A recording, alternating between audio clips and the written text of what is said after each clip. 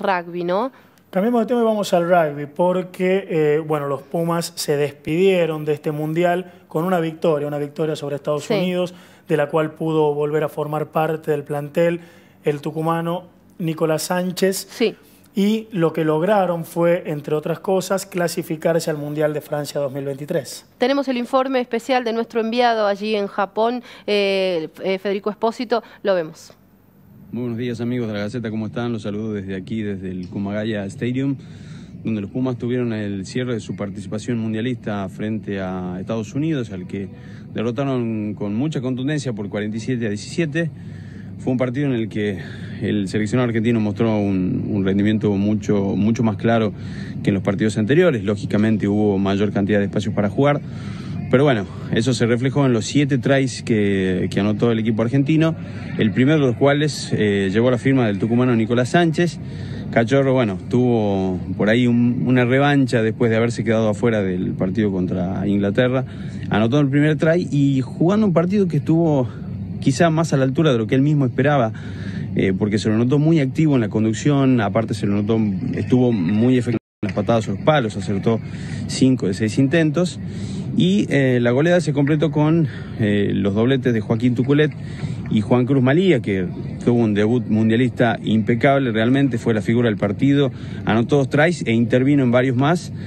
Y eh, también anotaron en el segundo tiempo Jerónimo de la Fuente y Gonzalo Bertranú, que había sido convocado de urgencia después de haberse quedado fuera de la lista mundialista, fue convocado de urgencia por la lesión de Tomás Coeli y realmente también se va con un sabor a revancha por haber marcado un try y haber tenido unos minutos de juego aquí en Japón, seguramente ya pensando en lo que será Francia 2023, que dicho sea de paso, el seleccionado argentino con este triunfo se asegura el tercer puesto y la clasificación directa al próximo Mundial.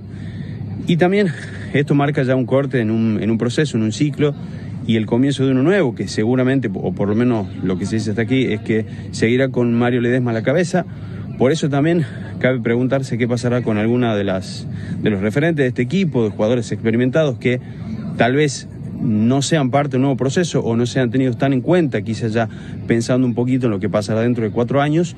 Por eso también entre esos eh, cabe incluir al propio Sánchez, que llegaría con 34 años y cuya relación con el entrenador no ha sido realmente de la mejor, pero se trata de un jugador eh, Estamos hablando del, goleador histórico del seleccionado y un jugador de muchísima experiencia y de peso específico dentro del plantel. También de Joaquín Tuculet y Agustín Crevi, que son otros de los realmente de los referentes de este plantel.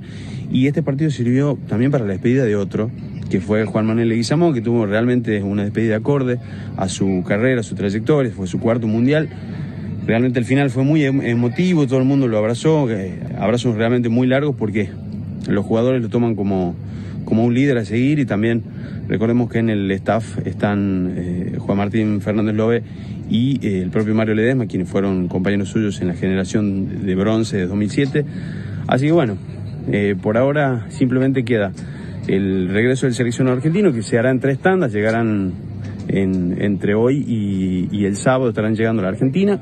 Y bueno, de ahí ya pensar directamente en el año que viene, el, el seleccionado no tiene compromisos en la agenda hasta junio del año que viene, así que bueno, ahora llegará el tiempo de balances, de ver qué se hizo bien, qué se hizo mal, qué hay que corregir y quiénes van a formar parte de su nuevo proceso. Desde aquí le mandamos un saludo grande y estaremos con las novedades de lo que queda del Mundial. Un saludo.